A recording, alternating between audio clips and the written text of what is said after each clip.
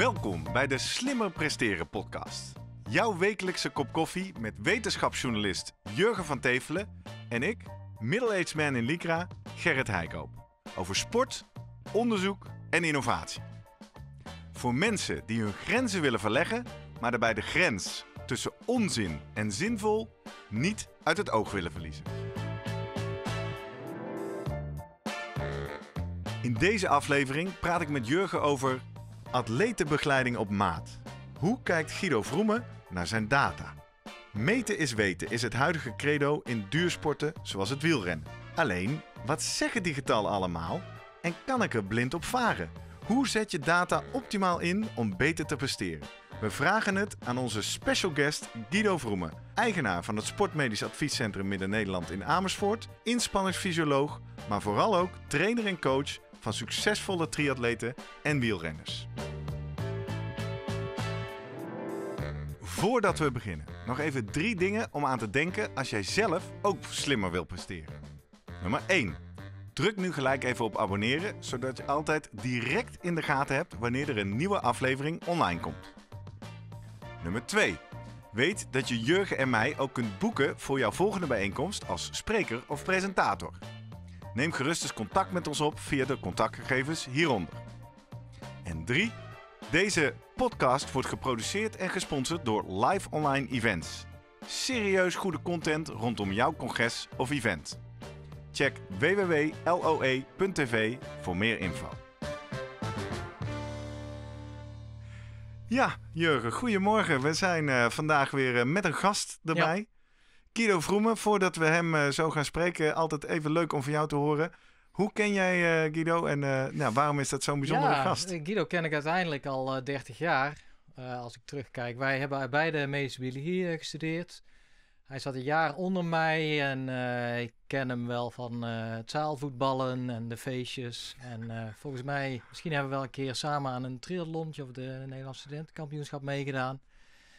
Uh, ja, ieder gaat zijn uh, weegs. Ik ben natuurlijk de journalistiek ingedoken uiteindelijk. Uh, en Guido heeft een zeer ambitieuze loopbaan, denk ik, afgelegd. Van tijdens de medische biologie ging hij al geneeskunde doen. Sportarts geworden en inmiddels dus ook trainer-coach van een aantal atleten waarvan ik bijvoorbeeld Jetse Plat uh, ja. een keertje heb mogen volgen bij het uh, Sporten of uh, Paralympische sporter van ja. het jaar vorig jaar hè, in Nederland. Ja, en ik ben natuurlijk, nou ja, als ik dingen echt wil weten over trainen, laatst dat stuk over gevarieerd trainen, hè, is het nou goed om als fietser ook te hardlopen, dan bel ik Guido op, wel ja. zo handig. En, ja, en het uh, leuke is, hij is ook uh, vanaf het begin van onze podcast ook regelmatig in onze Twitter-feed te vinden als sportarts. Mm -hmm. Dus uh, nou, laten we hem niet langer wachten. Hij, hij is bij Doe. ons. Goedemorgen Guido, wat fijn dat je bij ons bent. Goedemorgen. Ja, goedemorgen. Leuk. Onze special guest, wij, wij, bespreken in deze podcast natuurlijk wetenschappelijke studies kijken wat topsporters doen en dan vertalen dat naar de wereld van mij, uh, onder andere mijzelf als uh, amateur. Nou ben jij natuurlijk als geen andere betrokken bij die topsportwereld. Want je traint, uh, nou, zoals we al zeiden, Jets Plat, Anne Terpstra, Donald Hillebrecht. Um, hoeveel atleten heb jij op dit moment onder je hoede? Uh, op dit moment heb ik er uh, nou, 50 onder Zo. mijn hoede. Zo. En zijn dat allemaal topatleten? Nee, nee, nee. Ze zijn wel allemaal, um, ze zijn wel allemaal heel erg gedreven om het beste uit zichzelf te halen. En de ene heeft wat meer talent, waardoor hij in de topsport uh, um, uh, kan uh, functioneren. En de andere, die wil gewoon het beste uit zichzelf halen. En die is ook heel wedstrijd en ook nou, prestatiegericht bezig. Um, en dat is ook zeg maar, voor mij ook wel een voorwaarde om met iemand te gaan werken. Je moet prestatiegericht bezig zijn en het beste uit jezelf willen halen. Leuk.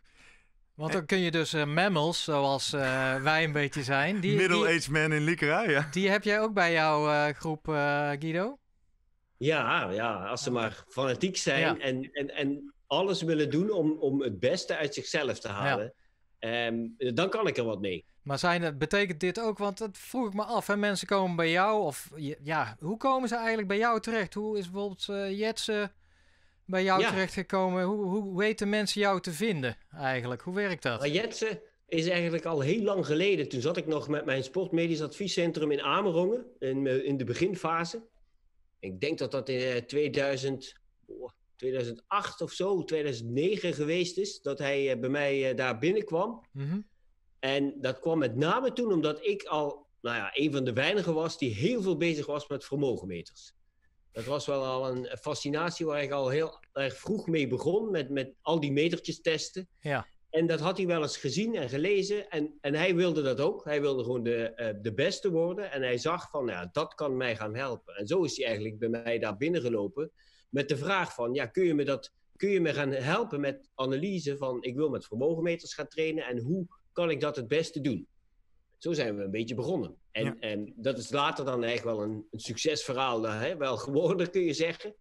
Maar door al die verhalen en al die mensen die ik dan begeleid, um, dat vertelt zich rond. En dat hoort iemand anders ook. En die denkt, goh, dat wil ik eigenlijk ook wel. Ja. Dan ga ik ook eens uh, naar informeren of ik dat ook kan. Wat eigenlijk de, dat is de, eigenlijk ja, ja, weet Je, de, de meest uh, uh, handige manier nu dat mensen bij mij komen, via via. Ja, de noemer is wel duursport hè, bij jou, de algemene noemer. Ja, ja, ja. ja, ja en dat betekent triatleten, uh, nou... Uh, wielrenners, wielrenners, uh, handbikers, mountainbikers, alle, alles in die... Ja, eigenlijk de, de grootste noemers, dat zijn eigenlijk degenen die op de fiets zitten.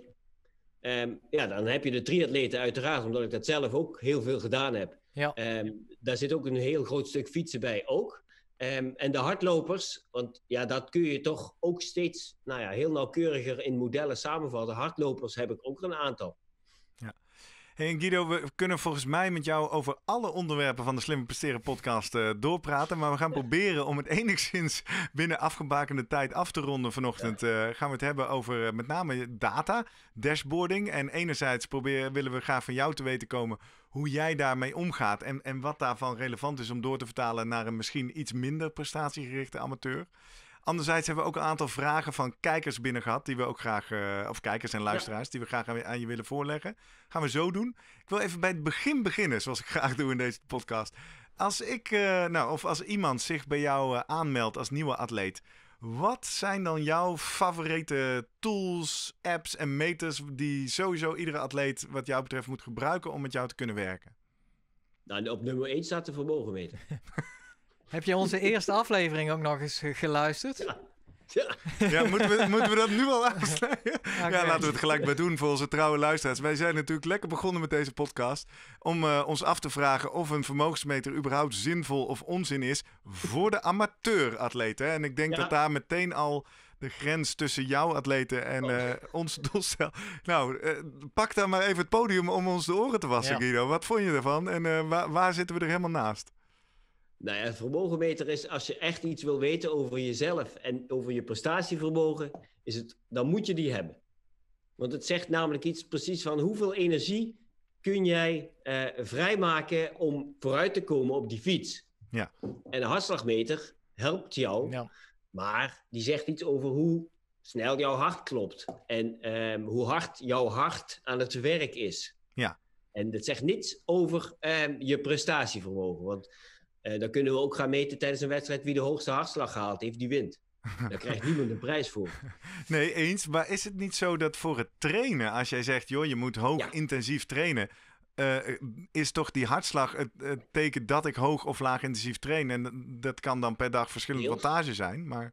Ja, ja, deels. Je moet je voorstellen, um, als we het over trainen hebben, dan heb je, om het simpel te zeggen, je hebt je aerobe systeem en je anaerobe systeem. Ja. Met zuurstof en zonder zuurstof jouw, uh, um, jouw hartslag, dus jouw hart, uh, is een pomp en die zorgt ervoor dat bloed rond wordt gepompt.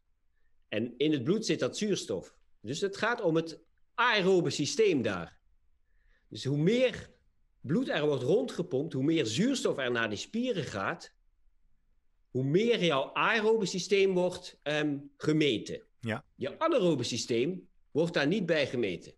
Weet je, je kunt keihard sprinten vijf seconden lang. Ja. Er gebeurt er nog niet heel veel. Dan ga je niks in die hartslag zien, wil je zeggen. Maar dat zou je wel in een wattagemeter kunnen meten. Dat zie je in je wattagemeter direct. Dus ja. dat is het complete beeld. Ja. Hey, en jouw en... hartslagmeter zegt eigenlijk als jij intervallen doet die vijf minuten duren of langer, dan kun je prima met een hartslagmeter monitoren. Ja. ja dan kom je best aardig ja. heel dicht in de buurt altijd. ga je al kortere intervallen monitoren. En hoe korter ze worden, hoe minder betrouwbaar je dat kunt doen met hartslag. Mooi. Oké, dat is een mooie aanvulling op ons verhaal, denk ik. Ik, ga, Ja, ik, ja, eh, ja. ik wil even namelijk meteen naar een kijkersvraag, eh, Guido. Want een van de redenen waarom wij ook kritisch waren op die vermogensmeter... is natuurlijk eh, ver- verkeerde data, calibratie, eh, rommeligheid. En helemaal als je zo op zoek gaat naar die finesse in die omslagpunten... die soms op eh 5 watt liggen en vervolgens is je calibratiefout al 20 watt... dan ben je natuurlijk weg. En dat brengt me bij een vraag van... Even kijken, die kwam vanmorgen op de valreep nog binnen. Paul Berghegen, die schreef ons... ehm, ik wil graag van Guido eens weten hoe die verschillen in wattage mogelijk zijn als je die ziet op Strava. De een fietst onder dezelfde weersomstandigheden en route in zijn eentje ongeveer 180 watt, 32 km per uur weg, terwijl de ander 235 watt em, em, meet. Welke parameters maken je dan het verschil? Ja, Ja, die weet ik ook wel, denk ik. Nou, eh, die, die, die moet maar eens een, een boek gaan lezen. Nee, Ja, nee maar dat, Waarom brengt natuurlijk bij... eh, ik, ik, toen zocht ik jou ook op, hè, ik, omdat ik bij de eerste training van eh Dion Beukenboom was geweest voor mijn boek. En daarachter kwam... Nou, Ja, want Guido, ik weet niet of je het weet, maar eh, ik heb een boek geschreven. geschreven. Het maakbare uur Ja. over de reis van Dion Beukenboom eh, naar het werelduurrecord. En zo stond ik ook van dat eh, zijn coach Jim van den Berg vertelde... Ja, kijk, ik heb berekend, Dion moet 455 watt gewoon een uur trappen. En dan, eh, dat stelde hem in staat om, om het record van Wiggins te verbreken. En toen, toen ben ik er eigenlijk eens ook bij Guido langs geweest, wat ingedoken en erachter gekomen ja, dat dat een hele belangrijke ja, indicatie van je motor is. Maar die, dat die motor ook een bepaalde stroomlijn moet hebben. En eh, ik denk dat daar al een, een, ja, een, een groot verschil zit. Hè? Dat het absolute vermogen ja. niet alles hoeft te zeggen, maar dat dat in combinatie natuurlijk is met, eh, ja, met, Weerstand. met, met je weerstand. En dat, eh, dat kan dat deels verklaren. Aan de andere kant, ja, ik vind het punt wat Gerrit zegt.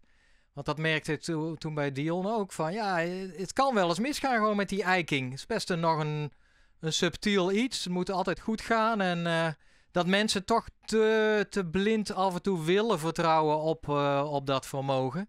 En dan niet nadenken van, oh, het zou misschien wel eens eh, aan iets anders kunnen liggen. Hoe, heb jij daar een, een, standaard formule voor of een standaard procedure? Ja, nou ja, weet je, als je, als je met vermogenmeters werkt, hè, iedere atleet die, eh, die, eh, die dat bij mij gaat doen, die zeg ik ook altijd, voordat je, hè, voordat je aan de training begint, dan heb je de zero-calibratie, wat je moet doorvoeren, altijd. En, en simpel gezegd zeg is dat als er geen kracht op de pedalen wordt gezet, dan staat hij op nul. Dat is niet dat dat getal dan nul is, maar dat geeft een bepaald getal aan. En dat is hetzelfde als dat je op een, een analoge weegschaal gaat staan. Voordat je daarop gaat staan, ga je eerst even kijken of dat metertje of die op de nul Mm. staat. Als die niet op de nul staat, dan draai je aan dat schijfje en dan zet je die op nul. Want dan denk je, ja, anders eh, klopt er niks van. Nou ja, dat is een beetje vergelijkbaar hetzelfde wat je dan met je powermeter ook doet. En dat moet altijd binnen een bepaalde marge zitten vanuit de, eh, vanuit de fabrikant meegegeven. En anders werkt die gewoon te veel af en dan kun je hem niet vertrouwen. Ja. Nou, dat zit meestal daar, daarin. En dat heeft een beetje ook te maken met de temperatuur. Er zitten rekstrookjes in. En met hogere temperatuur rekt het meer dan met lagere temperatuur. Dus dat is een belangrijke. Ehm, en ehm, eh, wat dat Strava betreft, ehm, ja, daar wordt ook onderscheid gemaakt. Sommigen hebben helemaal geen vermogenmeter op hun fiets en toch komt er in Strava een vermogen uit. Ja, heb ik. Staat bij mij ook altijd een Nou, soort gemiddeld precies, trapvermogen. Hoe die ja. dat doet, dat weet ik niet. Maar Dat is leuk, maar er zit een beetje een formuletje achter. Ja. Maar daar klopt natuurlijk helemaal geen hout van. Nee. Oh. Want Strava weet op dat moment totaal niet of de wind Ja. hard waait of niet hard waait. Hè? Dat het meer, weerbericht wordt daar niet bijgehaald. En misschien weet hij wel hoe groot je zit, maar, of hoe groot je bent, maar je weet niet hoe je zit. Ja. Dus als jij heel klein en opgepakt zit in een tijdrithouding, dan heb jij minder luchtweerstand dan als je helemaal rechtop gaat zitten. Dus, Dus ja, dat is weet je, die puur, eh, die Strava ja. zegt, die kun je net zo goed, ja, dus het is leuk, aardig, maar Precies. daar hebben we niks aan. Maar als je nou die, eh, eh, want er zitten wel verschillen tussen vermogensmeters, hè, qua, tussen de merken volgens mij. Een beetje. Maar eigenlijk, ik heb heel veel mensen natuurlijk met heel veel verschillende merken. Eh, dan krijg je Quark en dan heb je PowerTap en Ja. Garmin en Pioneer en Asioma. En eigenlijk vind ik ze tegenwoordig gewoon allemaal betrouwbaar. Ja, maar er was een tijd lang eh, dat dat... Ja, want ik weet nog... Ja, bijvoorbeeld bij prestaties van de toppers, hè, met, met Froome destijds. En die gaf dan eens een keer zijn vermogen door. En nou, dat, dat geloofde men niet. Maar dat had misschien juist met zijn ovale tandwiel te Ja, maken. ja, dat heeft het en, zeker. En, en daar... Oh ja, dat vind ik leuk om even te weten. Heeft het zeker, zeg jij Guido? Wat, eh, want we- de- voor de iets minder fietsbegunstigden, hè, de- de- er rijden nu mensen met ovale tandwielen, wat de druk anders zou verdelen. Hè? En dan zou je beter kracht kunnen zetten rond. Ja, Wat is kijk, de- wat een ovaal. Als ik het, je, als ik het kort uitleg, een ovale tandwiel. Als je dat ronddraait, als je daarmee trapt, dan heb je eigenlijk een soort vertraging en een versnelling steeds in die cyclus. Doordat je een grotere vertanding hebt en een kleinere vertanding. Dus de, de rotatiesnelheid is steeds hoger en lager, hoger en lager. Hoe de manier waarop zeg maar, een powermeter werkt, die meet met cadans. Dus die meet die snelheid. En soms is die cadans of die snelheid dus hoger. Hm, En, en daardoor geeft hij een overschatting van het vermogen wat het echt is. Oh.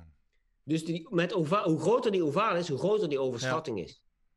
En dat geeft eigenlijk die, zeg maar, die 3, 4, 5 procent extra, wat eigenlijk helemaal niet waar is. Zeg je dan eigenlijk hier als, eh, als een van de takeaways uit deze podcast dat je moet oppassen met vermogenswaardes lezen als je ovale tandwielen rijdt? Nou ja, je, hoe, weet je, je kunt er prima mee rijden, maar je moet niet jezelf rijk Ja, eh, ja, ja. rekenen. precies. dat je dan ineens denkt, oh man, ik Ja. trap echt 5% meer ineens hierdoor. Want ik ben Ja. echt 5% sterker geworden. Ja, nee, dat het rekent 5% meer erbij, maar je bent echt niet zelf sterker Ja. geworden. Helder. En hierop aansluitend, dat is natuurlijk ook nu, nu we die Zwift races hebben gehad. Voor de profs, hè? Ja, laten we even daarmee. be- we- on- Hou je vraag vast. Kijk jij daarnaar, eh, Guido, en wat vind je ervan? Het virtuele wielrenracen?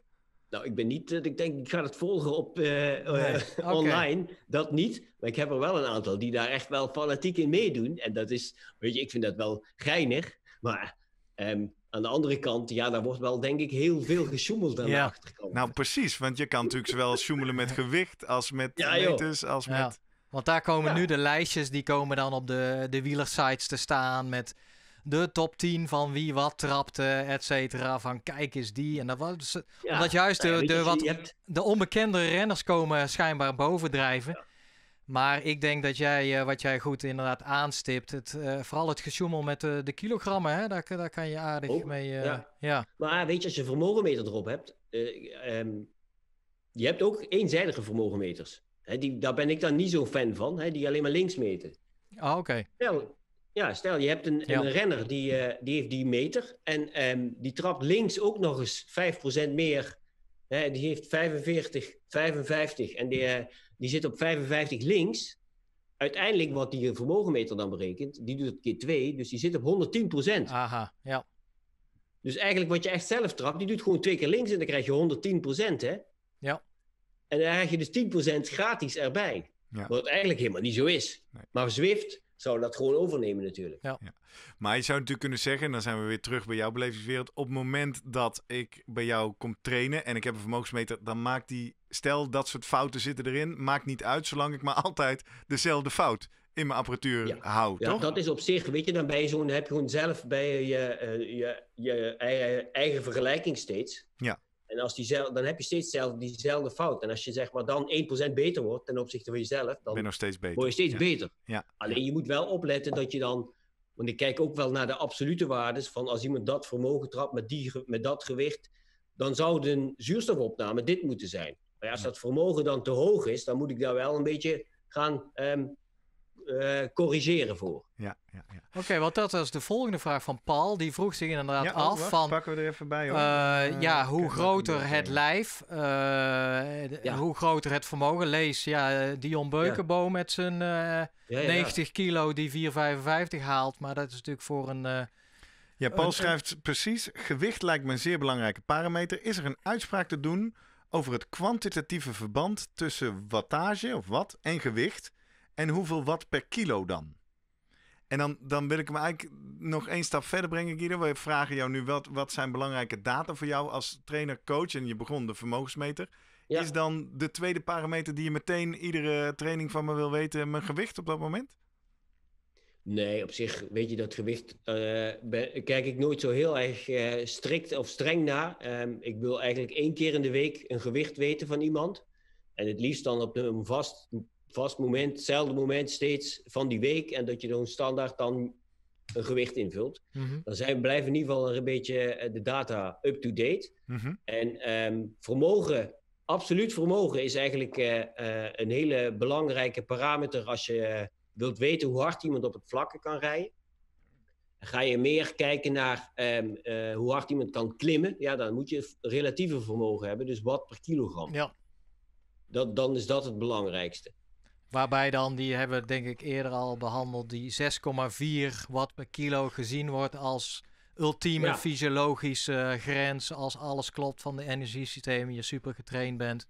Ja. En, En, ehm, gemiddeld, hè, en- leerden we toen. 6,4 Ja, gemiddeld. voor in ieder geval. Ja, en voor langere eh, Ja. Voor drie kwartier tijdsduur. tot een ja. uur, hè? Ja, Ja, precies. Dan Want- ben je echt eh, wereldtop. Wat, wat, ik ben er toen wel, heb ik even bij jou gekeken. Hè? Dan zat je achter je computer en dan liet je even kort zien. Nou ja, ik kan van afstand, kan ik nou die en die atleet precies volgen van hoeveel die traint. Hier zijn data, et cetera. Zo zit jij er, want jij begeleidt heel veel atleten, moet je wel op afstand. Nou, Ja. in de, de COVID-periode was dat al helemaal essentieel, denk ik. Hoe, eh, hoe werkt dat dan? Dan krijg je dan elke dag gewoon eh, je, je, je, Ja, waar, kijk jij naar, toch? ja, ja. je, je trainingsschema, daar hebben we het zo denk ik al over. Maar puur, einde van de dag komen de data binnen. En dan? Nou, ook al eerder. En dan? De hele dag door, hoor. De hele dag door. En dan? Ja, de hele dag. Ik krijg, weet je, ik krijg steeds zeg maar eh, eh, trainingen die klaar zijn, die worden geüpload en dan krijg ik een berichtje via mijn mobiel van Training Peaks. Krijg ik dan die en die atleet heeft een training afgewerkt Mhm. en commentaar erbij gezet. Aha. Nou, dan kan ik altijd vlug even kijken van is er iets bijzonders geweest hè, Ja. waar ik nu iets mee moet. Is dat commentaar soms is dat eh, voor, essentieel? Wel? Eh, of als, als het goed is, dan eh, gebeurt er niks bij. Of, je- of kijk je heel erg, dat, want dat laat misschien wat doorschemeren over Ja. of iemand met veel plezier getraind heeft, of Ja. pijntjes. Of Ja, noem ja, ja, op. dan wordt, zeg maar ook, er staat dan ook zeg maar, bij een, een, een intensiteitsscore. Dus een gevoel van hoe zwaar vond je die training. Aha. En daar wil ik graag waar. De RPE, die, eh, die Ja. vang jij ook op? Die Ja, ervaren de- de- mate de- van de, inspanning? perceived rate of exertion. Hè? Ja. Dus hoe zwaar vond je het voelen? Op een schaal Ja. van 1 tot 10. Ik gebruik zelf Of- ook Ja. Training Peaks. Of 6 tot Heel goed. 20, maar Ja. ja. Ja, Want dat eh, is nog dan- even waarom. Kijk, ik ben het helemaal met je eens. Dit, die vermogensmeter voor de training, super belangrijk. Maar puur voor eh, of wedstrijd of. En in mijn geval ging het dan van Teun van Erps een proefschrift over eh, het, het meten van de belasting eigenlijk. Van de trainingsbelasting van renners. Ja, dat hij erachter kwam van ja. De, de vermogensdata en dan daar de afgeleide van, of van de hartslag, die deed het eigenlijk net zo goed gaven net zoveel indicatie van eh, ja, vermoeidheid, zullen we maar zeggen, of, of belasting als die RPE. Eh, waardoor ik in die aflevering 1 een beetje kritisch was van, nou ja, ga ook op je gevoel af. Dus gebruik jij dus die RPE ook? En, en hoe belangrijk vind je die? Ja, ik gebruik die met name omdat ik wil weten als ik voor een atleet een bepaalde training maak, dan Mhm. heb ik een idee daarvan van, nou weet je, hier moet hij echt afzien. Dit is echt zwaar voor hem. Ja, En als diegene atleet dan die training gedaan heeft en die RPE-score zit op 5, dan Ja, denk ja. ik, oké, Was hè, niet dan hard wil ik dan genoeg. nog wel eens weten van, vond je het niet zwaar? Of Ja. hè, ging, het te- ging het makkelijk? ja, En als ik dan denk, ja, ja, het ging wel echt makkelijk, was niet zo zwaar. Dan kan ik gaan denken van, nou ja, klopt er dan iets met de waardes? Of dus ben ik hem nu aan het onderschatten? Nou ja, weet je, als dat laatste zo is, dan denk ik, nou, dan gaan we volgende week of volgende keer deze training, komt er wel even wat bij. ja. En dan ga ik de knopjes wat aandraaien en denk ik, nou, weet je, dan gaan we iets meer doen. Want ehm, ik wil wel een zware training zien en ik wil je wel horen piepen. Oké. In hoeverre, Guido, treedt daar dan weer wellicht een re- reverse psychologisch effect op? Dat ik denk, oeh, ook al voelt het als Ja, een ja. 5, ik zet maar even 7 neer, want anders moet het volgende week nog zwaarder. Dat is waar. Ja, maar dat gaan ze, dat, ja, op een gegeven moment heb je wel een goede band met iedereen. Ja. Ja. En dan gaan ze je ook zeggen, ja, het was, eh, het was wel makkelijk, maar ja, nou, of ik heb een bepaalde waarde over hè, verbeterd.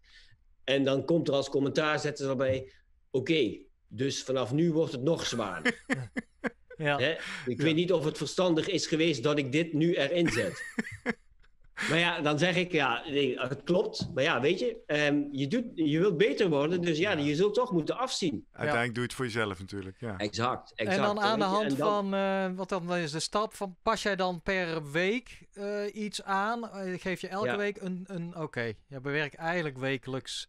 Je gaat me toch een paar stappen te snel, Jurgen. Ja. Ik was nog even Ja. bij ontrafelen. Waar kijkt hij nou naar? Hij begon bij de vermogensmeter. nee, maar dat Ja. is even tussendoortje. Oh, je wilde even Nu mag tussendoor jij weer, Ja, ja. eh, Want we hebben de vermogensmeter. Je Ja. zei ook, werk met, vooral met fietsers, ook met lopers. Werk jij ook met vermogensmeters eh, die Ja. je hardloopvermogen meten? Ja, ja ook eigenlijk al vanaf het begin, toen Stride, eh, Ja. de, wat de bekende eh, meter is, Ja. toen dat begon, ben ik eigenlijk al, eh, al vanaf dat begin ben ik met Stride al in samenwerking geweest voor de doorontwikkeling hè, van eerst de hartslagmeterband, die niet zo goed, goed werkte, en naar de doorontwikkeling naar de footpot. En daar ben ik in principe nu met die windmeting best tevreden over hoe dat werkt. En dat zijn ook gewoon reële waardes. Eh, je hebt ook... ehm, Want, want kan je eens en voor de de mensen die, die, die de stride niet kennen, en ik heb er zelf ook geen ervaring mee, wat is de grote toegevoegde waarde van de data die dat apparaatje jou oplevert? Ja, ook dat zegt weer, het is niet zeg maar een directe meting zoals je met fietsen hebt. Dan meet je kracht maal omwenteling en dan heb je energie. Ja. In de schoenen heb je dat, bij hardlopen kun je dat niet direct meten. Maar het is een soort ehm, berekening van, nou ja, als jij, hè, je geeft aan hoe groot je bent en hoe zwaar je bent. Dus dan gaat die voetpot gaat voor jou berekenen, als jij met een bepaalde snelheid en een versnelling gaat lopen, hoeveel energie dat kost om die massa in beweging te brengen. Dat is gewoon hè, natuurkunde. Mhm. En uiteindelijk, hè, nu werkt dat best heel goed. Dus dan kan ik iets zeggen over hoeveel energie kan iemand eh, vrijmaken om zichzelf voor te bewegen in een bepaalde snelheid. Ja. En hoe meer energie jij kunt vrijmaken, hoe harder jij vooruit gaat. En, En, dan dat is zeg voor je mij weer, heel belangrijk. Ja, en dan zeg je weer, daarmee kan ik zuiver meten wat de inspanning is geweest. Vervolgens kijk ik dan naar hartslagdata om te kijken wat het effect is geweest. En dan weet ik iets over fitheid.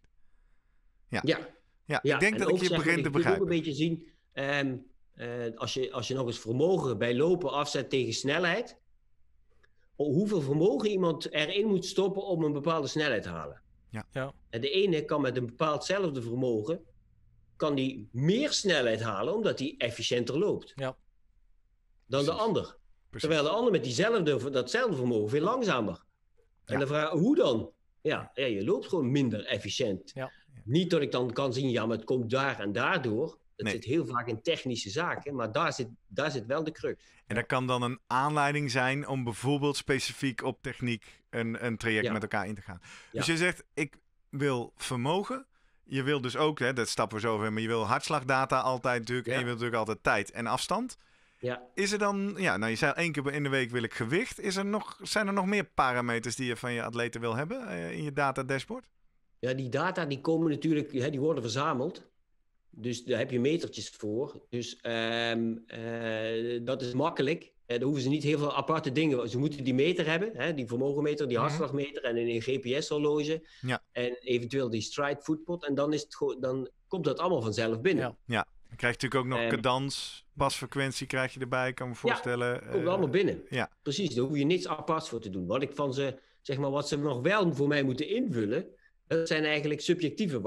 Ja. Dus niet alleen voor die training, maar ook gewoon als ze opstaan, s ochtends, van hoe ze zich voelen. Ah. Mood tracking hebben Ja. wij eerder ook al Ja. even aan eh stemmen. Ja. De- Dus ben benieuwd, heb- heb je- wat heb je invullen? Voel je je uitgerust? Heb je goed geslapen? En tegenwoordig ben ik ook nu een aantal tools aan het testen die je slaap monitoren. Oh. Dat is eigenlijk zo'n eh zo'n moe- zo'n hoekbandje en ik heb een, eh, een ring van Aura. Oh, dat is niet je trouwring. Ik zag hem al een paar keer in beeld. Ja, dat is de andere.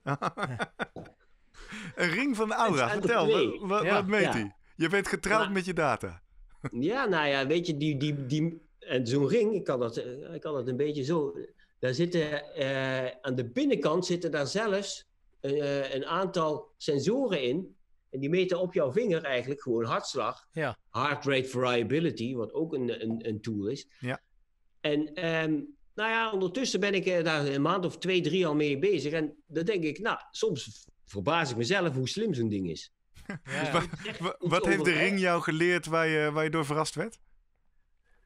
Ja, met name slaapmeting. hè van hoe goed heeft iemand geslapen? Is hij vaak wakker geweest? Ehm, eh, waar, hè, hoe zakt zijn rusthartslag tijdens de slaap? En wanneer wordt die weer omhoog? Eh, gaat die weer omhoog? En de, de, de hartslagvariabiliteit, ook die zie je vaak. Hè? Die komt soms wat hoger als je wat uitgeruster bent en lager als je gewoon vermoeid raakt. Dan denk ik, nou, mijn gevoel zegt het dan op een gegeven moment komt het hetzelfde neer. Als dat, als dat voor mij, zeg maar, met dat soort tools eigenlijk niet strookt. En ik denk, ja, maar ik heb nu echt best wel veel gedaan. Ik ben helemaal stuk. Terwijl die app tegen mij gaat zeggen, oh, je bent helemaal fris en fit. Ja, weet dan weet ik, dan denk ik, ja, dan kan ik er niks mee. Nee, maar dat, is, wel, is wel interessant trouwens, zeg je. Want je zou ook kunnen zeggen, wacht even, de data toont aan dat jouw gevoel er helemaal naast zit. Maar, nee. Nee, want ik, zo ga ik ook niet met mijn, met mijn atleten. Als die echt moe zijn, dan denk ik, nou, dan moet ik nu, als ze, als ze echt gaan klagen van ik ben echt moe, want ze moeten, je zegt ook, je moet gewoon eerlijk tegen mij zijn. Je moet niet denken, ja, ik ga niet piepen tegen hem, want dan, ga, hè, dan moet ik weer minder doen. Ja. Als je gewoon eerlijk tegen me, dan, dan, trek ik gewoon aan de rem en dan geef ik jou rust door. En dat werkt eigenlijk het beste. Ja. Terwijl als je gaat denken van die app, dat is de waarheid, dat het is niet zo. Hè? De vermogenmeter die meet dit, dat is ook niet de waarheid. Dat hoeft niet per se zo te zijn. Hey, en dan... Hartslagmeter ook. Hè? Als jij uh, ineens denkt, oh, 220, hoe kan dat? Hè, dan krijg ik ook wat van die alarmbelletjes. Maar, ik heb nu, uh, en dan kreeg ik, zag 220 en ik voelde me verder goed, maar er was niks. Dus is dat nu mijn maximale hartslag? Ja, hè, die waardes moet je altijd wantrouwen totdat je zeker weet dat het echt zo is. Nog even één korte vraag over die ring. Want uh, wat ik dan weet als amateur, ik ben begonnen met de borstband. Dat vind ik natuurlijk helemaal niks. Ik heb nu zo'n duur sporthorloge, die heeft dan polsmeting. Maar dan zeggen ze, ja, polsmeting is niet zo betrouwbaar, is niet goed. Heeft zo'n ring dan een betere hartslagmeting? Voor rustmetingen wel. Oké. Weet je, het is echt in slaap, dan lig je gewoon in rust, dan doe je niks. Eh, als ik hem zeg maar, ik heb, je, je, je hebt dat ding gewoon 24 uur per dag om. En dan merk je dan op een gegeven moment ook niet meer. Um, gebruik hem niet zeg maar, voor uh, trainingen te monitoren van hoe was mijn ah, hartslag dan. Daar heb ik dan toch een ander metertje erbij. Ja, ja mooi. Nee, het doet me een beetje denken aan uh, onze aflevering 2 over herstel. Hè? Ja. En waar inderdaad die uh, aan de hand van het boek Good to Go toch ook dit soort nou ja, gadgets, zal ik het nog maar noemen, voorbij kwamen. Waar toch altijd bleek van ja, het blijft toch lastig. Je, blijft, je kan niet blind varen gewoon op, uh, op de data. Je moet daar uh, maar in combinatie met, met gevoel en gewoon kritisch kijken van klopt dit? Ja, ja. er worden dingen ontwikkeld die altijd ondersteunend kunnen, uh, kunnen ja, zijn. Ja, die zoek ik dan. Weet ja. je. Er komen nieuwe dingen uit en ik ben dan toch kritisch en dan wil ik het eerst zelf even gaan ja, uittesten. Dat is wel iets voor jou. ja, want jij zult in de wetenschappelijke... Ja, ik denk dat jij wel de wetenschap erg goed volgt en op de hoogte bent van nieuwe ontwikkelingen. Hoe hou jij inderdaad jouw informatie bij? Door, door wie of wat laat jij je updaten? En, en hoe snel ga jij in zo'n hype wel of niet mee? Ja, je, je, je, kunt op heel veel kanalen kun je natuurlijk informatie tot je krijgen. Hè, van Twitter krijg je dingen, maar ja, dat, dat denk je, ja, Weet je, dan, dan, moet je dan eerst zelf maar eens een beetje fatsoenlijk onderzoek naar doen. Ja. Um, maar als je uh, onderzoeken met ResearchGate en andere academia, ja. dan, komen heel veel artikelen voorbij vaak. En uh, ik zoek zelf op met, bepaald, met, met bepaalde trefwoorden op triathlon en wielrennen en vermogenmeters en inspanningsfysiologie. Ja. Dan zie je wel vaak nieuwe dingen komen. Waar je denkt, hé, hey, dat is wel interessant voor mijn vakgebied. Ja. Dit moet ik al even wat verder lezen. Ja. En, en dan kun je ook makkelijker wel, hè, degene die een onderzoek hebben gedaan, daarmee in contact komen. Ja, die zoek je dan op. Ja. Uh, bijvoorbeeld, uh, ja, wat zijn dan de ja, echte vernieuwingen van de laatste jaar, twee jaar? Uh, wat je zegt, nou, dat heeft echt mijn ogen geopend. Ik denk dan toch weer van, ja, het zijn, zijn het niet voorbijgaande hypes van de bietensap, de ketonen, die dan toch ook weer nu met de laatste studie van Hespel, in ieder geval tijdens inspanning weer weinig laten zien. Nee, maar dat was toch verwacht? Ja, nee, dat leek me ook. Maar ja, wat is voor jou eigenlijk, dat je zegt, nou, die laatste twee, drie jaar, dat zijn, uh, is deze ontwikkeling heb ik dan toch wel omarmd. En die, daar heb mijn, mijn atleten mee kunnen helpen of verbeteren. Nou, eigenlijk is het dan toch wel uh, een modelsysteem waar ik mee werk. Hè? Als ik okay. Training Peaks, dat is zeg maar online. Mm -hmm. Ja, daar, kom, daar komt al jouw data in binnen en daar, daar heb je je dashboard in. Nou ja, daar, daar komen alle data binnen, maar ik trek ze daarbij uit, want ik heb ook nog eens een softwareprogramma wat erachter loopt. En dat is WKO 5. En het begon met WKO 3, 4 en nu al 5. Ja. En dat is eigenlijk een programma wat in mij, op mijn laptop zelf staat, waar ik alle data uit Training Peaks haal. En dan kun je nog veel meer ehm, grafieken en modellen laten berekenen. Aha. En dat heeft ook weer te maken met, met power duration, hè, vermogen tijdsmodellen, critical power. En dan kun je dus eigenlijk je hele curves in kleine stukjes gaan verdelen van waar is hij nou wel goed in en waar is hij nou niet goed in. En dat helpt eigenlijk eh, om iemand ehm, eigenlijk goed in kaart te brengen van eh, hoe goed is die nou? Wat kan die nou lang volhouden, kort volhouden? Welke trainingszones moet ik nou beter maken? Welke moet ik nou niet beter maken? Zo krijg ik eigenlijk een veel beter beeld van ehm, mijn atleet en, en waar ik hem beter kan maken. Ja. Ja, ja. En dan, dan, eh, dan kom je natuurlijk op dat punt van die verschillende energiesystemen. Hè? Anaeroop, anaerobe tank.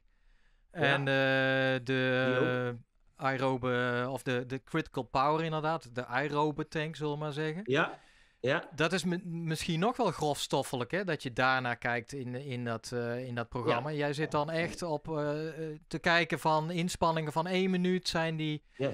hoe verhouden zich tot inspanning van twee of drie minuten? Ja. Dus echt, echt op dat niveau zit jij eigenlijk de boel te tweaken of te kijken hoe je het kan tweaken waarschijnlijk. Dat klopt? Ja, nou ja, weet je, soms dan probeer ik ook mijn atleet een beetje nou ja, helemaal nou ja, leeg te trekken, om het zo te zeggen. Eh, ook in deze periode, dan krijg je soms van mij best wel eens een, een, een maximale testje.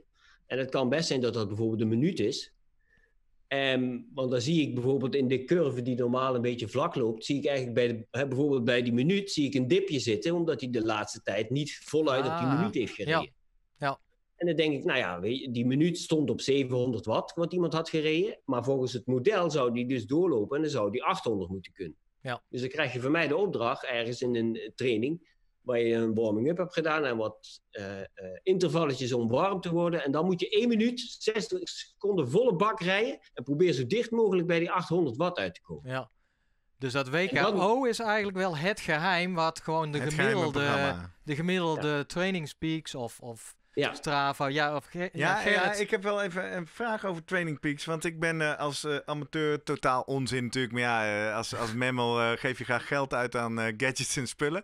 Dus ik heb ook Training Peaks. En ik, ik besef met ten donders dat ik daar helemaal niet uithaal wat erin zit. Ik stop maar netjes al mijn data er al twee jaar in. Ja. Ik denk als ik dan ooit met Guido ga trainen, dan heeft hij al mijn data maar. Maar eh, nu, Heel ik jou, goed. nu ik jou toch aan de lijn heb.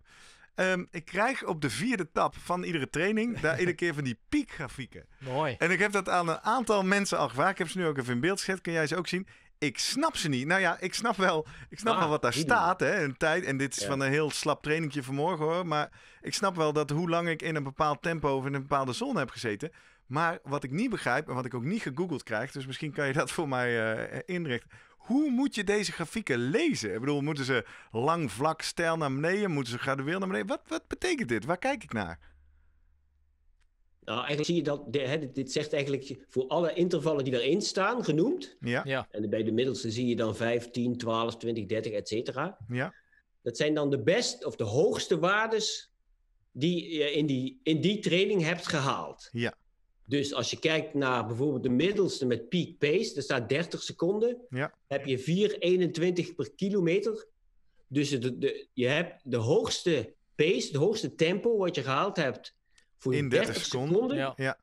is 4,21 geweest. Nee, dat snap ik. Maar nou is mijn vraag. Maar ja, je wilt natuurlijk, ehm, je wilt natuurlijk dat die zo, zo lang, ehm, nou, zo hoog mogelijk is. En het- afhankelijk van het type sporter. Kijk, als je een sprinter bent, dan zou je zeggen, ja, dan wil ik eh, 5 seconden of 10 seconden echt knetterhoog hebben. Ja.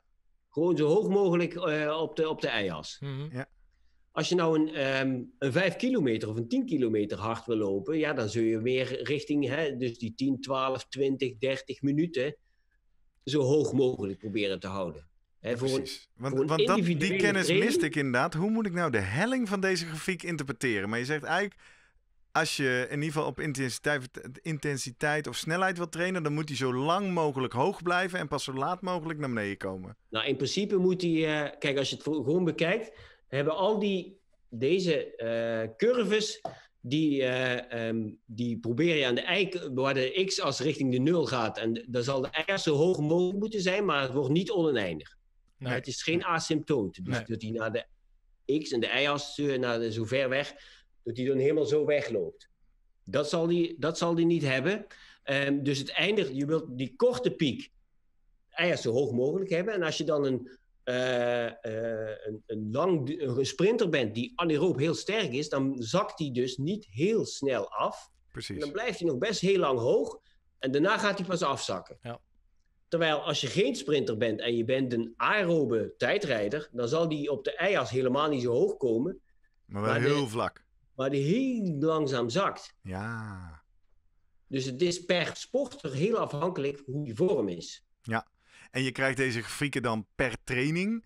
Dus dan kun je iets zeggen over heb je goed intensief getraind of heb je juist Nou, duur per, per getraind. training maakt me deze, die pieken niet zo heel veel uit. Weet je, dat, die pieken, die piek ehm, grafieken, Ja. die vind ik eigenlijk het belangrijkste als ik ze allemaal verzamel Oké. Ja, bij een elkaar. soort Want dan kan ik eigenlijk alles op één hoop gooien. Want bij de ene training doe je bijvoorbeeld één minuut intervalletjes heel hard en de rest heel rustig. Ja. Of je doet bijvoorbeeld eh, een 10 minuten blok heel hard en de alles rustig. Dus dan zit je bij die één minuut helemaal niks. Nee, nee, nee. nee. Goed, eh, Dus je goed, dat je, alles- ja, goed dat je dit noemt, want dan brengt mij eigenlijk tot de vraag van interval versus uithoudingsvermogen of duur. Daar hebben we het natuurlijk ook een uitzending over gehad. Explosiviteit. eh, sowieso, eh, hoe, en we hebben het gehad denk ik over gepolariseerd trainen. Hè?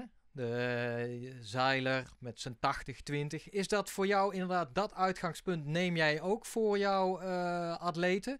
Het gepolariseerde model eh, 80-20? Of is dat... Nou ja, op zich neem ik wel, hè, train ik wel heel gevarieerd. Dus Mhm. het gaat, eh, het is er zitten heel harde en heel rustige trainingen in. Ja, Ehm, ik ben niet heel strikt dat ik denk ik moet eh, op 80-20 gaan zitten. nee, nee. Dat niet. Nee, dat niet. Maar is het wel van jou, want dat was wat Seiler du- duidelijk maakte. Ja, die, die, die 80 training, de langzame training moet echt langzaam zijn. Daar hebben mensen natuurlijk, Ja. recreanten hebben de neiging.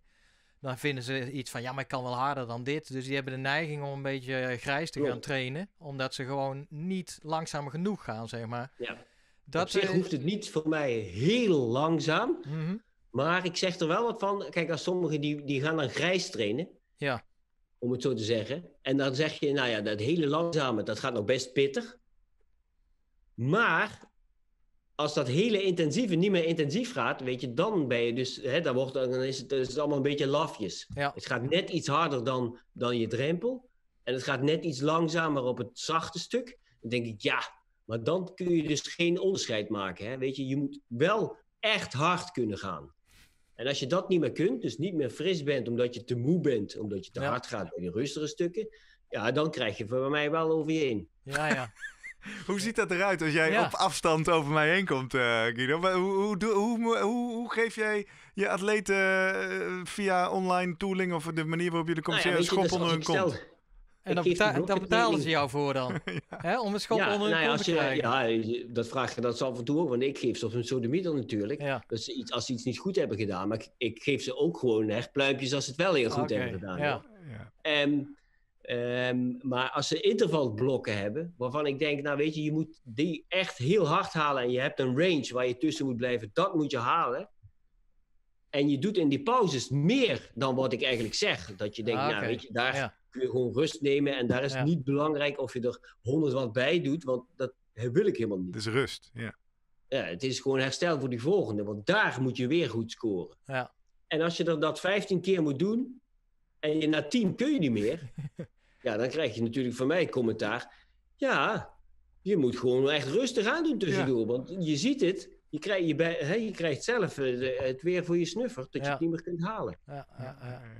Ik wil even een paar kijkersvragen behandelen, Ja. want anders eh, gaan we hier heel erg uit de, uit de tijd gillen. We hebben een vraag van eh, Daan van Sint Maartensdijk binnengekregen via de e-mail post.slimmerpodcast.nl. Hij eh, mailde ons gisteren en hij schreef een vraag voor Guido. Hallo Guido, bij het opstellen van het trainingsplan maak je denk ik gebruik van verschillende fasen naar een hoofddoel toe. Welke schil- verschillende soorten fases of blokken gebruikt u en wat is uw filosofie hierover? Ook met betrekking tot soorten training en intensiteit. Nou snap ik dat dit een hele brede vraag is, dus laten Ja. we kijken of we een kleine richting kunnen geven. En hij heeft Ja. zelfs nog een vervolgvraag. Kijkt u daarnaast dan ook naar de verschillende parameters om te bepalen of een atleet goed genoeg ontwikkeld en aangepast is om weer een blok verder te gaan? En daar zit natuurlijk wel heel duidelijk een link met het thema van data wat we vandaag hebben. Ja, nou, dat is periodisering, hè, wat hij dus aanhaalt. Ja. Mhm. En je periodiseringsmodel kun je heel erg strikt gaan werken met theoretische modellen die er al, al zijn. Ehm, maar ik weet je, ik werk natuurlijk wel met voorbereiding zoveel. En dan gaan we naar een wedstrijd, naar een wedstrijdspecifieke periode en piekperiode toewerken. Ehm, maar het is niet zozeer dat ik. Dat, is, dat, dat staat een beetje op de achtergrond als, uh, om, op mee, om op te refereren. Want zitten we op de goede weg nog steeds van wat ik gepland had? We zitten nu in. Hè, we beginnen in januari en je moet in juli goed zijn. Hè, dan heb je bijvoorbeeld januari, februari, maart. Ga je steeds iets meer van je, je, je grote basis ga je verbeteren. En dan moet je dat langzaam op gaan bouwen, dus zodat je in juli wel fris bent en sterk bent. Ja.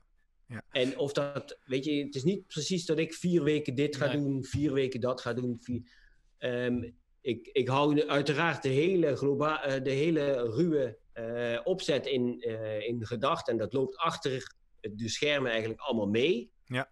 Maar ik werk niet met vier weken voor algemene voorbereiding. We gaan nu volgende blok in vier weken specifiek in voorbereiding. Ja, want dat is eigenlijk die tweede vraag van hem. Hè? Wat, wat zijn voor jou belangrijke parameters om te zien of iemand toe is aan het volgende blok? Of eigenlijk belangrijker, misschien nog niet toe ja. is aan een volgend blok? Hè?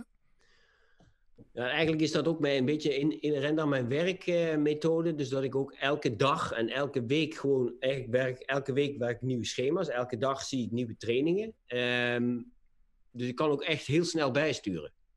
Dus als iemand moe wordt, dan denk ik, ja, dan moet ik dus niet wachten tot aan het eind van de week, maar dan moet ik nu een training of een rustige dag of een rustdag gewoon in plannen, omdat hij meer rust nodig heeft. Ja. Um, heb je dat, heb je, ben ik in een opbouwperiode van week 1, 2, 3 steeds iets meer gaan doen? En, week, en hij is nog steeds niet heel erg moe. En hij kan nog, weet je, kan die, die, die arbeid nog allemaal aan. Dan doe ik een week 4 ook nog erbij. Dan gaan we weer iets verder. En week 5 misschien ook wel. En als hij dan pas moe wordt, dan ga ik dan pas terug.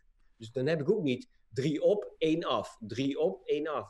Dat laat ik echt helemaal afhangen van hoe het proces verloopt. En daarom zit ik er ook eigenlijk zo elke dag op. Bovenop. En, en hoe ver van tevoren, want in trainingspeak kun, je, kun, je, kun jij trainingen klaarzetten op een bepaalde ja. dag. Dat kan ik al zien. Hoe ver van tevoren zie ik dat dan als, jou, als ik jouw atleet ben? Of krijg ik echt uh, morgen vroeg pas binnen wat ik die dag moet gaan doen?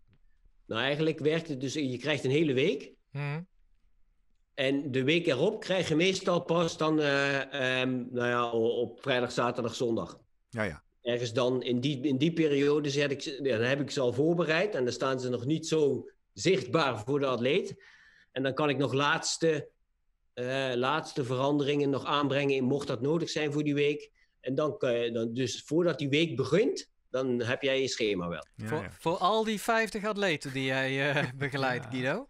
Zo, en dat is natuurlijk want het moet allemaal maatwerk zijn, hè? Dat is wel ja. duidelijk. Je ja, ja, er zit niet inderdaad van, oh, ja. knip en plak ik. En dat zet ik bij die andere atleet er ook in. Dat Ja. is allemaal hetzelfde. Nee, dat Ja. is allemaal inderdaad maatwerk. En krachttraining maakt ook een onderdeel uit, denk ik, van eh, jouw eh hoge intensiteitstraining. eh, is ook, eh, Ja. Ja, dat is in de voorbereidingsperiode. En die doen mensen, die krachttraining doen mensen, nou ja, thuis of in, het, in de, de sportschool. En Ja, ook daar geef jij, geef jij specifiek meestal- aan van deze, dit apparaat, deze herhalingen, deze... Ja. Oké. Ja, ik geef sommige mensen die hebben eigenlijk zelf al een krachttrainer bij hun in de buurt, in de sportschool. Dus daar krijgen ze dan eh, ook hun, hun schema van en dat Ja. overleggen ze dan met mij. ehm, wat ze dan wel en niet moeten doen. Oké, Ehm, de ja. intensiteit wordt eigenlijk door die krachttrainer bepaald. En die, die zorgt er ook voor dat de techniek goed is. En op een gegeven moment dan denk ik dat we eh, voldoende eh, de kracht hebben opgebouwd. En dan laat ik het eigenlijk terugvloeien. En dan is het een soort onderhoudsschema wat ze zelf thuis bijhouden.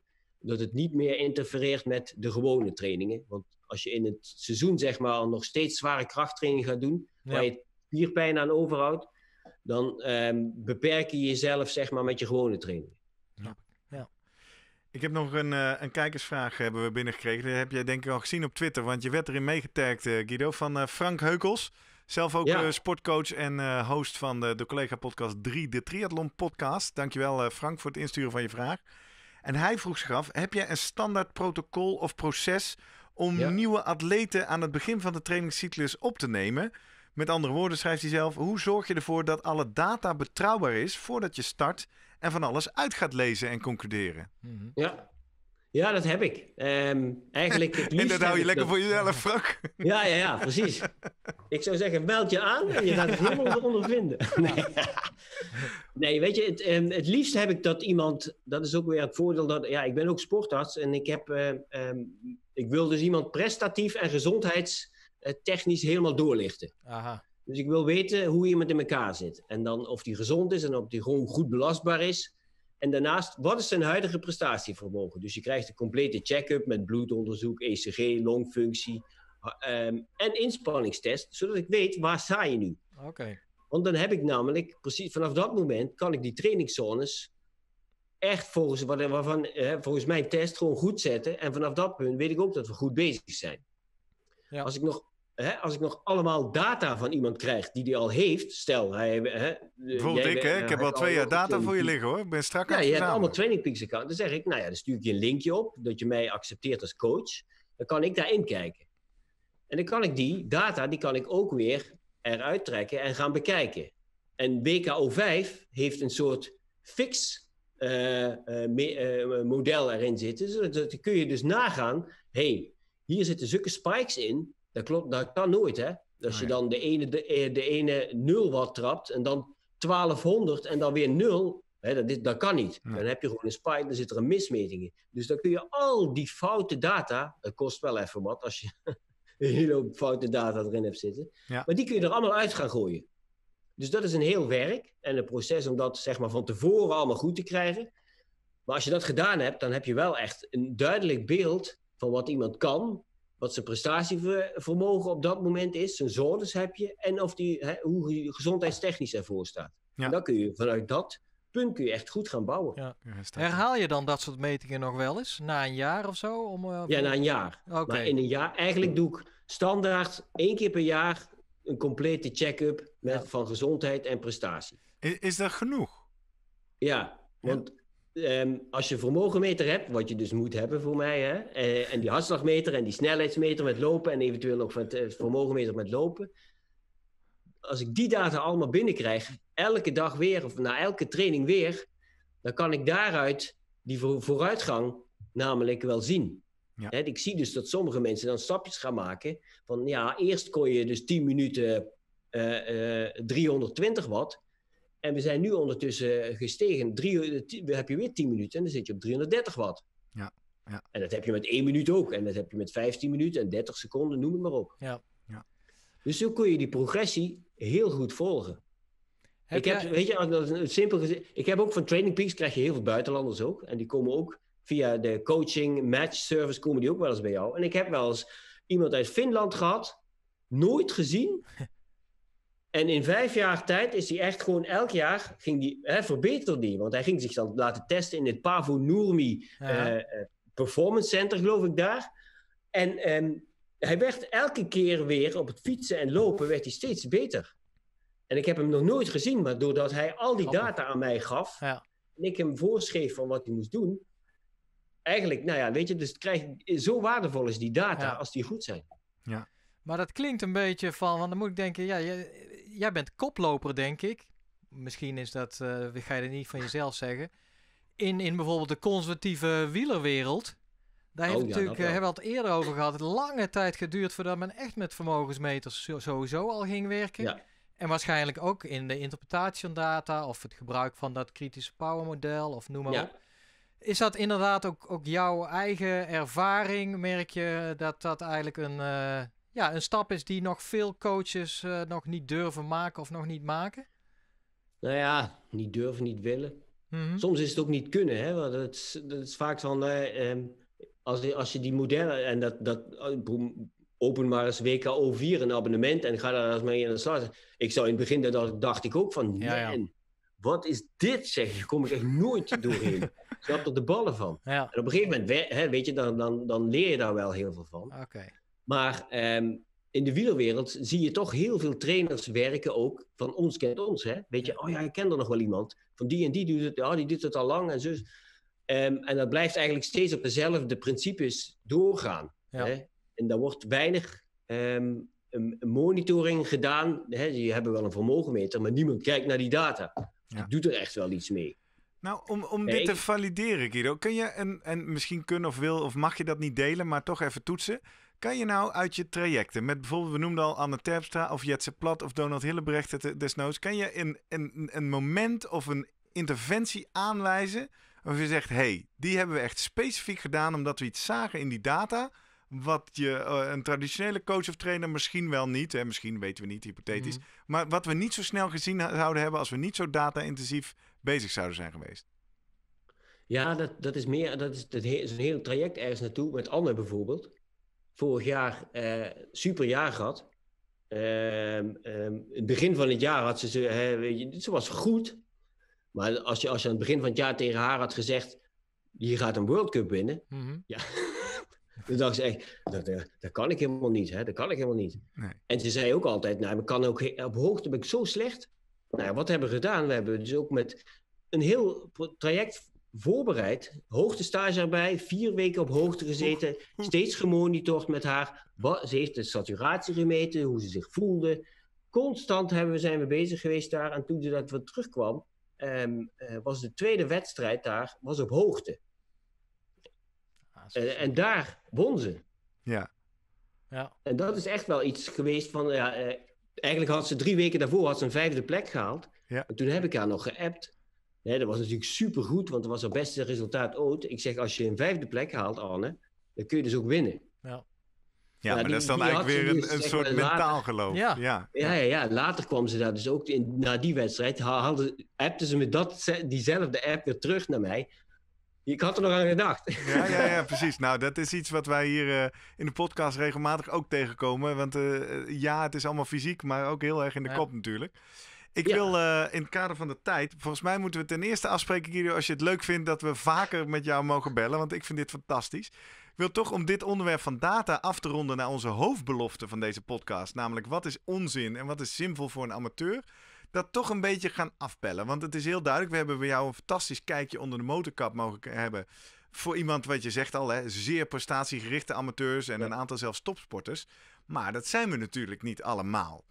Dus stel nou eh, dat we om te beginnen niet met een coach op afstand werken zoals jij bent, maar gewoon zelf en eh, nou ja, misschien wel iets van doelen om, om jezelf te verbeteren hebben, iets van grenzen willen verleggen, maar niet zo fanatiek misschien als jij bent. Ja, Wat zijn dan de eerste slimme dingen die je met data zou aanbevelen? Wat is echt zinvol voor mensen die op een veel lager niveau acteren dan waar we nu met jou eigenlijk over gesproken hebben? Is dat nog steeds die vermogensmeter of begin je dan eigenlijk nou ja, weet je, die hoef je dan, die, hè, dan, dan, dan zeg ik ook wel, weet je, ja, maar dan hoef je dat ook niet voor mij aan te gaan schaffen. Nee. Ehm, een Waar, waar begint het wel mee? Welke data is eigenlijk iets... eh, laat ik zo zeggen, ook voor mezelf. Hè, wat is nou eh, met mijn Strava en mijn sporthorlogetje... wat is nou data waar ik echt even naar moet gaan kijken... om te kijken of ik goed lekker aan het trainen ben? Nou ja, hartslagmeter zegt natuurlijk iets over eh, hoe je zelf in elkaar zit. Hè? Hoeveel, hè? Hoe zwaar je het jezelf hebt gemaakt. Ja. Het zegt niks over hoe prestatief goed je bent, maar het zegt wel iets over hoe zwaar je het jezelf hebt gemaakt. Ja. Als, je, als je weet vanuit ehm, eh, eventueel een test die je gedaan hebt, wat jouw maximale hartslag is. Ja. En, je, en daar kun je dus al een gradering uit van, ja, ik zat nu op 80% of op 70 of 90. Nou, dan weet je en denk je, ja, maar die 90% dat moet ik niet te vaak doen, want dat is wel heel erg zwaar. Ja. Dan heb ik meer herstel nodig. Ja. Doe ik 70% training, dan denk ik, nou, weet je, dit had ik ook nog wel een uur zo volgehouden. Dat is niet zo'n probleem. En dan, dan, dan ben je er ook, heb je minder herstel nodig daarvan. Ja. Dus dat werkt eigenlijk, dat is eigenlijk wel een hele simpele.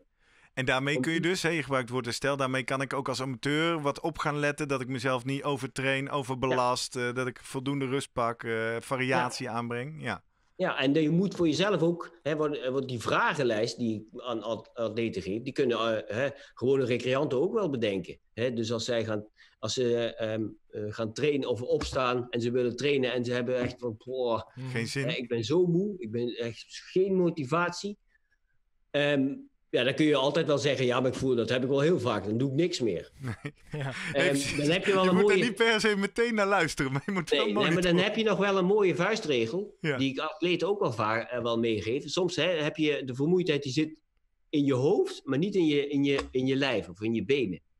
Dus dan kun je, als je gaat lopen of fietsen, Als je gaat fietsen, ga je fietsen. En als je na een half uur nog steeds hetzelfde zware, lome, moeie vo- gevoel hebt, dan kun je omdraaien en ga je naar huis. Hè, Ja. ben je, binnen een uur ben je weer terug. Met lopen is dat 15 minuten. Ja. Want normaal, als je eenmaal bezig bent, dan denk je, oh, nou, eigenlijk gaat het nu wel weer. Ook herkenbaar. Ja, als je, Ja, hè, ook al heb en je geen zin en prima, je weet je. gaat en dan klaart hij op. Ja, maar goed dat Als je jij de hele dag een hè, zware eh, baan hebt gehad en, en veel met je hoofd bezig bent geweest en noem het maar op, heel moe in je hoofd bent, dan kan het best zo zijn dat je s'avonds daarvan opknapt. En dan heb je niet dat je denkt, na een half uur, dat je denkt, ah, goh, nee, het schiet echt niet door, ik ben nog steeds moe in je benen. Want Ja. dan is, zit die vermoeidheid wel ergens anders. Mooi. Dus je zegt eigenlijk enerzijds eh, als recreant amateur zeker eh, investeer wel in een hartslagmeter of een manier Ja. om je hartslag te meten om het effect en de variatie en herstel te bewaken. En anderzijds dus de, de subjectieve waarde van eh, hoe voel ik me. En eh, ja, mooi. Ja, Dus- en lopen kun je natuurlijk met je horloge, wat je Ja. hebt. Hè, daar hebben, tegenwoordig zit er altijd een GPS op. Ja. En snelheid zegt bij lopen heel veel. Ja. Dus dat kun je ook gewoon heel goed bijhouden.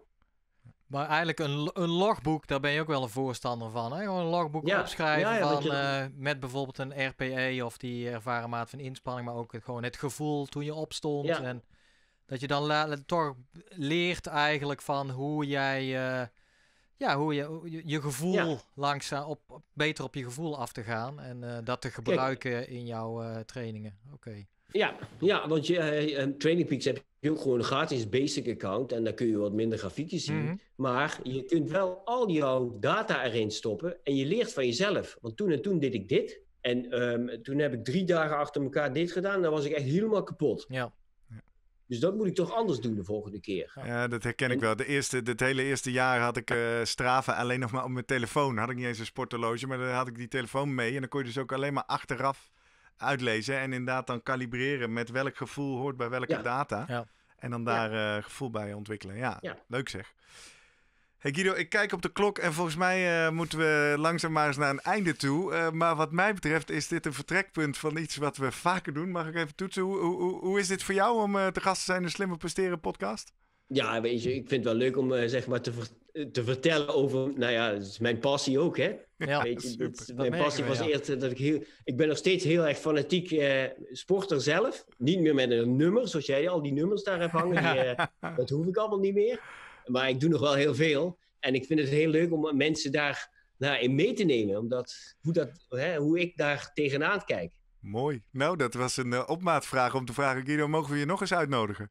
Ja, voor mij wel hoor. Ja, leuk. Super. Heel erg dank voor al jouw eh, kennis en inzichten en eh, de- jouw tijd ook natuurlijk eh, vanmiddag hier vandaag. Ehm, ik richt me weer even tot onze kijkers en luisteraars, want wij zijn benieuwd. We hebben al een aantal mensen vandaag eh, gehad die vragen hebben ingestuurd, Paul en Frank. En dat vinden we natuurlijk leuk. Dus reageer op deze uitzending. Je hebt net kunnen horen, Guido komt misschien nog wel eens vaker terug. Dus heb je een vraag specifiek aan Guido of heb je een ervaring om te delen naar aanleiding van wat je vandaag hebt gehoord? Reageer, zoek ons op op social media. Bijvoorbeeld @slimmerpodcast op Twitter en op eh, Instagram. Je vindt op Twitter ook @sportarts. Dat is eh, Guido Vromme op Twitter. Dus eh, tag hem vooral ook mee in je bericht. Of als je het leuk vindt, surf naar onze website www.slimmerpodcast.nl. Daar vind je een specifieke pagina van deze aflevering waar je onderaan ook kunt reageren en met andere luisteraars in gesprek. Vinden wij altijd leuk en we reageren altijd terug op jou. Of je kan ons een mail sturen, net zoals. Oh, moet ik de naam even gauw spieken? Ja, Daan. Daan van Sint Maartensdijk deed naar post.slimmerpodcast.nl met jouw vragen, reacties of eh, dingen die je ons terug wil geven voor de uitzendingen. Ehm, en tot slot, mocht jij nou iemand kennen die ook datafreak is zoals wij, een beetje een nerd, die het interessant zou vinden over om te horen hoe een, eh, hoe een eh, professionele coach werkt met data en eh, ook de lessen daarin naar recreanten, stuur dan vooral ook even de link naar deze aflevering naar ze door via social media, via WhatsApp, via nou, alle manieren die je maar hebt. Want samen hopen wij op die manier met z'n allen hier als amateursporters in Nederland en desnoods ook als profs slimmer te gaan presteren. Guido, dankjewel. Graag gedaan. Hey, dankjewel Guido. Jurgen, dankjewel. Tot Ja. volgende week bij een eh, volgende kop koffie. Ja, gezellig.